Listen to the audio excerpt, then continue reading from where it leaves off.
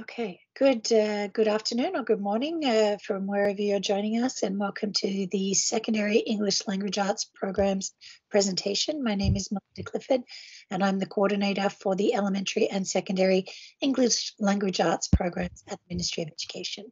And I am accompanied today by my wonderful colleague, Dawn. And I'm Dawn Uniat. I'm a teacher on loan of service working with Melinda on the ELA team.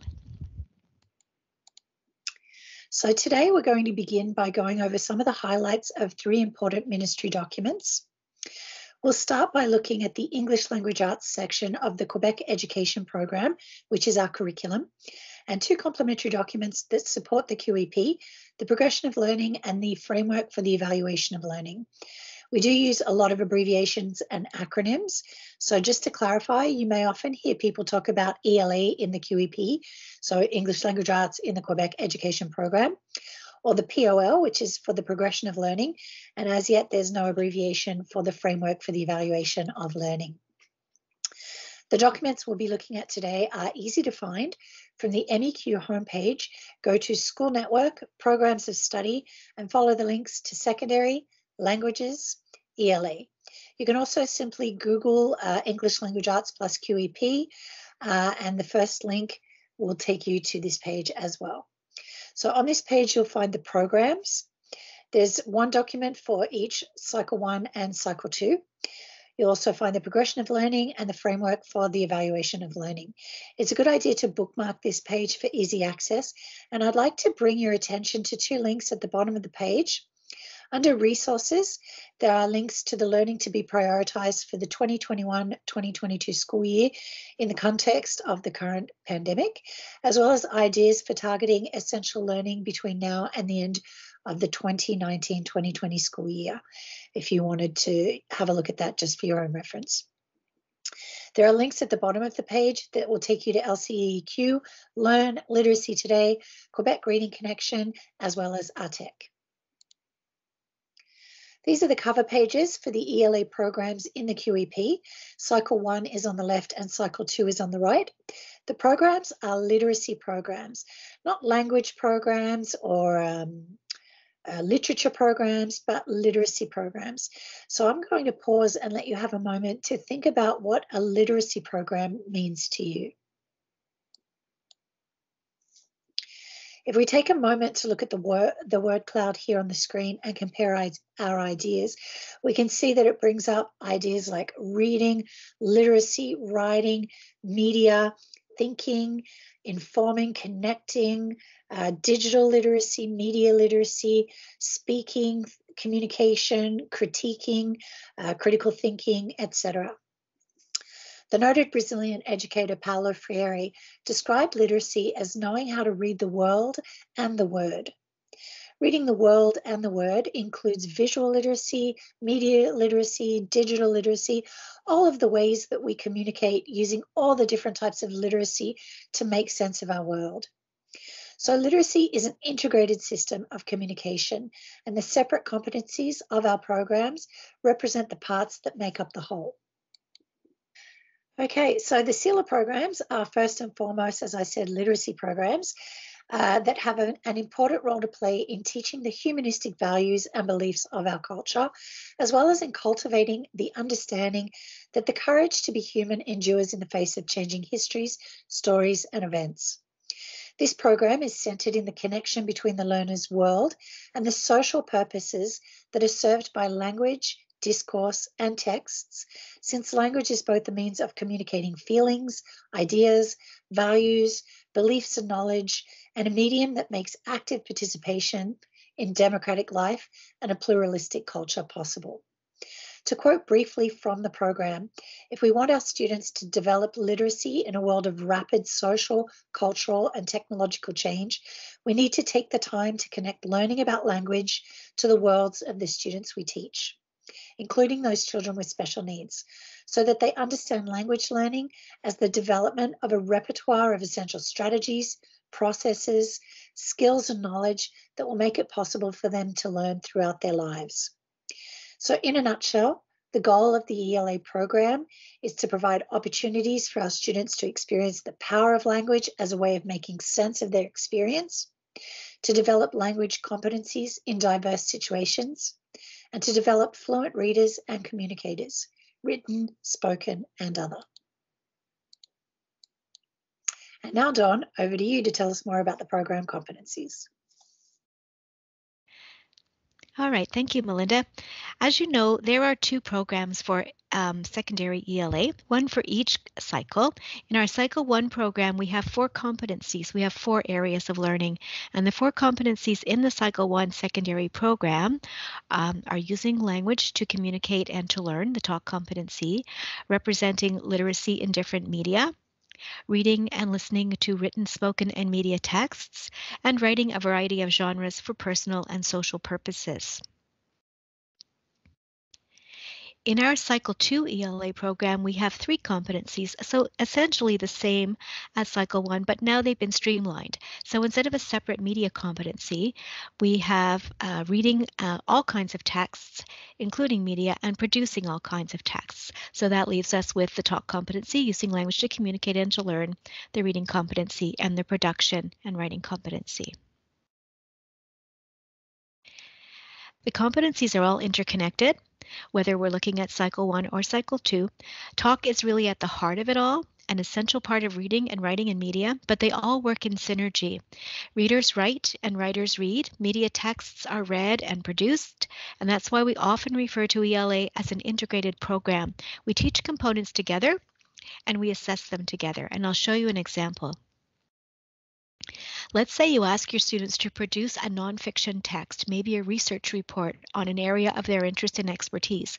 So this sounds like a writing or production task, but the planning stage will require talking like brainstorming. Students will have to read and maybe view to see examples of the text type and understand how it's constructed and how it works. They'll need to learn what are the characteristics of a research report. And they'll also need to read and view to gather information. And this will be accompanied by more discussion, talking to learn about the topic. And in the writing or production process, there will be more talk, for example, asking for feedback from peers and the teacher, and even more talk if they are collaborating with others. When the report is completed, it might be explained to the class or to the teacher, or even presented orally in its entirety. And then reflection on the task, and this could be done through talk or in writing, and feedback from peers or teacher would often involve talk and sometimes reading if the students get written feedback. So we're going to start by showing you a short video to illustrate the talk competency. Talk in the classroom, using language to communicate and to learn, has two components. Learning to talk and talking to learn. Learning to talk means that students acquire the oracy skills needed for high-quality talk. In the classroom, this might include establishing norms and guidelines with your students. For example, be an active listener. Take turns. Ask questions to encourage others to participate. And be polite when you disagree. Students also need to learn conversation skills, like how to initiate a discussion, build on ideas, ask for clarification, question, challenge ideas, and synthesize. One way to do this is to work with sentence stems and give students examples of what to say. Sentence stems can help students structure what they want to say and contribute to a conversation. They can also provide shyer students with a scaffold to help them get started. To begin a discussion, students might say, I'd like to start by saying, or I think, to challenge an idea, they might say something like, I disagree because, or I understand your point, but have you thought about? To clarify, they might ask, Does that mean? Or, So are you saying? Sentence stems, scaffold talk, and can be tailored to the specific needs of the discussion. Other classroom examples of learning to talk include adapting strategies and approaches to a discussion depending on the context for example, talking in a think, pair, share situation versus participating in a Socratic circle, discussing vocabulary and word choice, examining forums, for example, debate or news reports, and exploring their codes and conventions and their affordances. When students are talking to learn, they might be exploring a talking point and putting forward a point of view. They might question other points of view that are presented or ask for clarification and they should learn how to listen and respond respectfully, just like in any other talk context. Talking to Learn in the context of a literature circle discussion can allow opportunities for students to summarize, make connections, and synthesize, examine and compare a variety of ideas, and support their viewpoints as they construct meaning. When students follow an inquiry process, they use talk to collect and share information, to identify issues and adopt a stance, as well as consider how best to communicate information and ideas in light of their purpose and audience. When students are talking to learn, they need many opportunities to use talk in meaningful ways so they can engage with content, build on their existing knowledge, make meaning, deepen their understanding, solve problems, figure things out, and construct a worldview.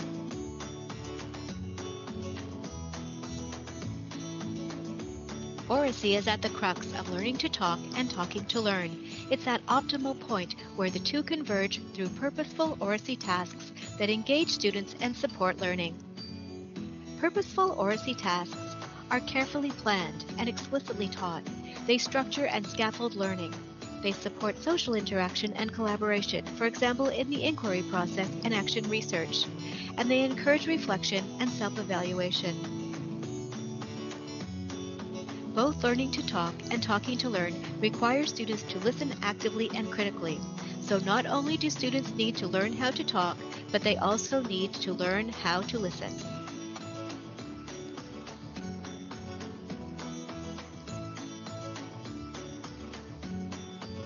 For more information about talk in the ELA classroom, please visit literacytoday.ca.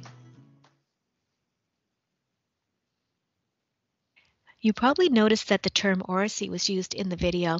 It's a term that was coined in 1965 in an effort to raise the status of talk so it would be seen as equal in importance to reading and writing.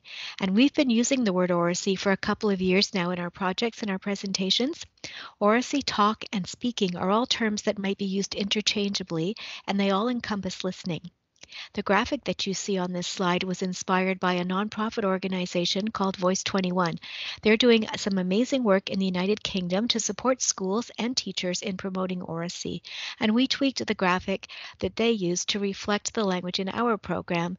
So we have learning to talk and talking to learn. In our ELA programs, learning to talk is done in context in authentic situations and at the same time as students are talking to learn.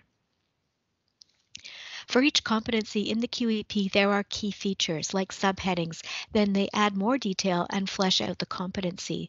So for the talk competency in cycle one, students are producing spoken texts for a familiar audience in specific contexts. They're interacting with peers and teachers in specific learning contexts, and they're exploring the social practices of the classroom and community in specific contexts. And for the talk competency in cycle two, students are establishing a repertoire of resources for communicating and learning in specific contexts, participating in the social practices of the classroom and community in specific contexts, and interacting with peers and teacher in specific contexts. The QEP also gives us a portrait of what to expect at the end of each cycle. So what you see here is for talk in cycle two. And I'm going to ask you to read this and think about how it gives you a picture of what is expected of the students. If we go to the next slide, here's a larger version. I recommend that you pause the presentation here and read the text on the slide.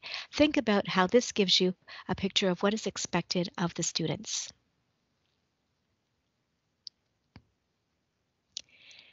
Here we've underlined some of the key points that you might have noted.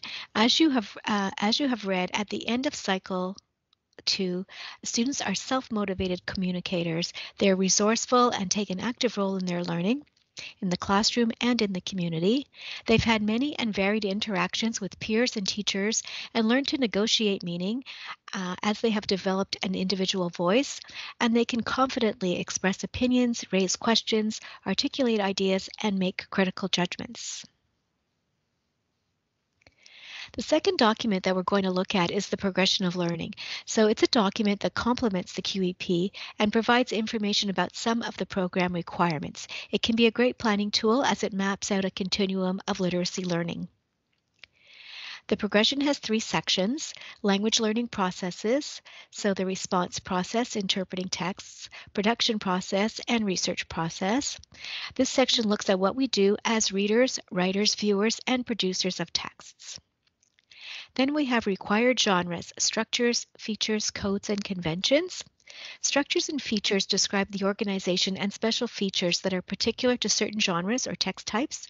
For example, in an argumentative essay, there's an introduction with a statement of thesis or position, some elaboration or contextualization of the topic, a development of the main points with supporting evidence and illustration, and a logical ordering of information and ideas.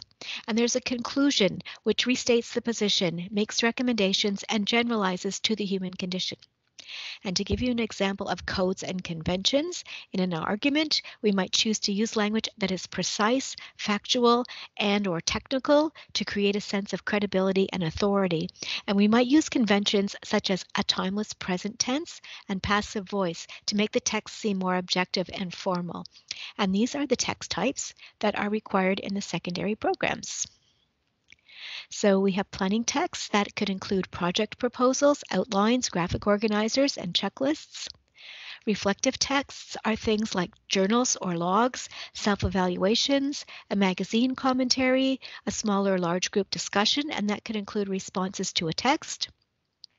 And we have narrative texts, stories told in any form. So that could be young adult literature, personal stories, improv, spoken word poetry, memoirs. Explanatory texts, um, examples could be pamphlets, how-to videos, anything that explains a process. Reports, these could be descriptive, a news report, an interview, a research report, and then we have expository texts, and there are two types. Persuasive texts like advertisements, book reviews, personal essays and speeches, and then argumentative texts like debates, editorials, political blogs, and critical essays. And the last section of the progression of learning, conventions of language for spoken, written, and media texts. For spoken language, that includes rhetorical strategies like using intonation for dramatic effect in a poetry reading and understanding the affordances of spoken language, for example, using repetition or deliberate pacing choices to add meaning or emphasis. For written language, conventions include organization, syntax, and word usage, and mechanics like spelling and punctuation. And the progression also addresses conventions of media language and how we use sound and images for a desired effect, comparing different media and their affordances, for example, looking at a book and then the movie version, and critical reading to identify bias, stereotypes, and promotion of ideologies. Here's an example from the POL. The arrow on the left shows the, an explanation of how to read the chart. Where you see a small arrow, students are constructing knowledge with teacher guidance. The star indicates that students should apply that knowledge by the end of that school year. In the blue areas, the students are reinvesting knowledge, continuing to use it in new situations or contexts. Grade levels are indicated in the gray area in this section about spoken language. In section 1A, rhetorical strategies, students make effective use of visual aids to support spoken language, such as handouts or photographs. Students are working on this in secondary one, and by the end of secondary two, they should be able to apply that knowledge. And then as they move on to sec three and beyond, they're continuing to reinvest and use that knowledge in more and more complex situations. And the next point, 1C, students adapt the rhetorical aspects of nonverbal language to achieve a particular effect, such as maintaining eye contact and using gestures for emphasis in a debate. So this would be beginning in secondary one with teacher guidance and working on that until the end of secondary four, at which time they should be able to apply that knowledge. And the last document that we're going to look at is the framework for the evaluation of learning. And you'll notice that talk, using language to communicate and to learn, is worth 33% of a student's ELA mark. So if we haven't already made it clear that talk is important, this is something else that might help to convince you. The section at the top with the arrows is pretty important because it explains that evaluation of learning is a process of going back and forth between the acquisition of specific knowledge and the understanding, application, and the use of this knowledge. So evaluation must take place throughout the learning process and include both formative and summative assessment. And here we see content from the progression of learning on the left and how it's linked to the QEP content on the right. And this brings all of the documents together um, so that when we're evaluating, it can serve as a reminder of what exactly the program is asking us to teach. The expectations, uh, what we are looking for as we evaluate, is made clear in the appendix. So the appendix takes the text from the main page of the framework, in this example, Communicating for Learning, and identifies what this looks like in the classroom. So in this case, contributing information and ideas, asking questions, clarifying ideas, supporting points of view, and integrating new ways of thinking, which includes new ideas and points of view. This also means students are recognizing the meaning of nonverbal language cues and using nonverbal language cues themselves to communicate. So I went through the, the progression of learning and the framework fairly quickly because the first document we looked at, the QEP, is the curriculum. It's the most important document. The progression and the framework are complementary documents that can be very useful, but the QEP is the program, it's the curriculum. And here we have a brief summary of how the documents can work together. We start with the QEP and identify the competencies and key features we'll be working on. Then we can use the progression of learning to identify more specific parts of the program to focus on. And the framework guides us in assessing students' learning and helping us to plan the next steps. Do we move on with something more complex or something completely new or go back and try again because students aren't quite where they need to be yet? And that's how the documents work together. And at this point, I'm going to pass it back to Melinda. So before we go on with the next section, I would ask you to take a piece of paper on your own and jot down some ideas that you have for teaching talk in the classroom. In our work with the ELA community, the talk competency, which is using language to communicate and to learn, was identified as an area where teachers require support and resources. And during the work that we did in the preliminary stages of our research on talk, we came to realize a few fundamental points. I'd like to show you a quick Powtoon that we created that highlights a little bit of what we were seeing. Before I start the video, I'd remind you to just make note of what you do when you teach talk in the classroom.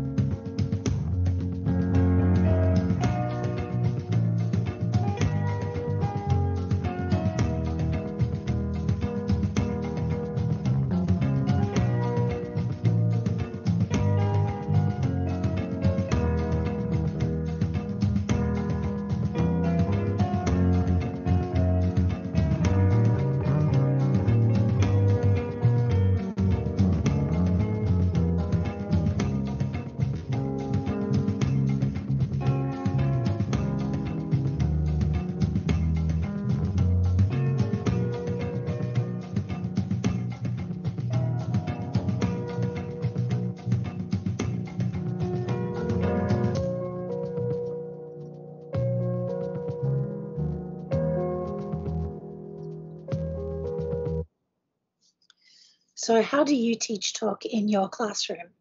Like the beginning of the video said, it's easy to fall into the trap of thinking that providing opportunities that support talk equates to teaching talk. Many of the very experienced teachers and consultants that we worked with had aha moments when they realized that. Most of us had been making those same assumptions that we highlighted in the Powtoon.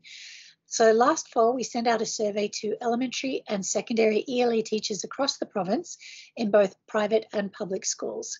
We received over 300 responses, and of those responses, more than three quarters of the teachers expressed the need for more tools to support both the teaching and assessment of talk. These numbers really corroborated what we suspected was a serious need for talk tools. And over the past year, we've been working very closely with consultants to create an Oracy skills tool and developmental continua. We've chosen to focus a little more on the talk competency during this presentation, as we've been working on a number of tools, like I said, to support teachers, which we'd also like to share with you. So this is our new Oracy skills tool. It illustrates all of the skills that students need to become proficient communicators. Oracy is a new term that we've decided to use, so we've included a definition right here on the tool. Oracy enables us to navigate our own learning and our world through the skills of talking and listening.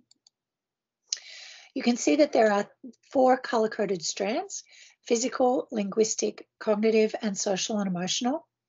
All four strands are umbrellaed by the blue turquoise meta metacognitive strand, uh, which is an important part of our ELA programs. The metacognitive strand prompts students to consider how they are developing as learners and thinkers through talk. We want to encourage them to reflect on their approaches, strategies, and skills, how they use their understanding of talk to grow as communicators and learners, and to recognize the value of their own contributions and their impact. So I won't go into too much depth here. We wanted to show you a close-up of one of the strands just to give you an idea of the skills that are being highlighted. And we have the social and emotional strand here that focuses on collaboration, which is what students are doing when they participate in group activities in a variety of ways. Interaction that is respectful and constructive. Students express empathy and develop positive and supportive attitudes towards their peers. Active listening, students engage cognitively, which means that they may ask questions to clarify, challenge, or build on ideas. And they may engage physically also through eye contact and body language. So you can see that there's an overlap between the strands. The term active listening is in bold, which means that it can be found in an accompanying glossary. And finally, they demonstrate self-confidence. So you'll be able to access all of these tools on Literacy Today. The Oracy Skills tool is the foundational tool because it tells us what to teach. And here we have the developmental continuum of Oracy skills, which shows us what the skills look like in action in the classroom. It's a planning and formative assessment tool that teachers can use to gauge the development of their students' proficiency as communicators. It, descri it describes a developmental progression. And I want to point out straight away that it is not a rubric that describes levels of achievement. So it's not linked to evaluation criteria, nor is it tied to a specific grade level or cycle. This means that it can be used at both elementary and secondary levels, with the complexity of the task or the context being the defining factor in the level of difficulty. So if we read across the top, you can, you can see that the descriptions of the strands are there. You'll notice that the same language and colours carry over from the Oracy skills into the continuum. The four strands are at the top uh, of the are at the top and the progression of the skills begin at the bottom and we move our way up from beginning to, through to developing, consolidating and then extending. So what you're looking at here is a close-up of the consolidating level for each of the strands. And you can see that if we look at the social and emotional strand, which is the green one, just here, uh, as a communicator at this level, uh, one can listen actively by considering and responding to the feelings and ideas of others. They can read their audience and adapt their communication to connect with them, and they can contribute in an assured manner through constructive and positive interactions. We've also developed a student continuum this one uses I statements to describe students' development. It's very similar to the teacher continuum, but you'll notice that each of the four strands are umbrellaed by this metacognitive strand. Metacognition, as I mentioned earlier, is thinking about our own development as learners through reflection and self-evaluation. And it's an essential part of the ELA programs. So this continuum is designed for students to use to help them reflect on their own skills as communicators. Again, it's designed to be used by all levels and is applicable to all talk situations. So exploratory talk, discussions, figuring things out, working out problems, as well as more formal presentational talk. This is a close-up of what the developing level of the student continuum looks like for each of the strands. And if I focus on the green section, which is the social and emotional strand, students practice social conventions in different talk situations to maintain respectful and productive interactions. I listen and respond constructively when talking with others, and I'm comfortable taking risks when expressing my ideas. The oracy tools were validated in six school boards and a private school last year, as well as by Bishop's University. They are available on the Literacy Today website. Since we've focused a lot on the talk competency today, we'd like to finish by sharing a video with you that shows what can happen when talk is taught explicitly. You'll need to use the QR code or you can type the uh, address into your browser uh, and watch the video externally and then come back to the presentation and if you have any questions or comments, you can contact us at info at literacytoday.ca.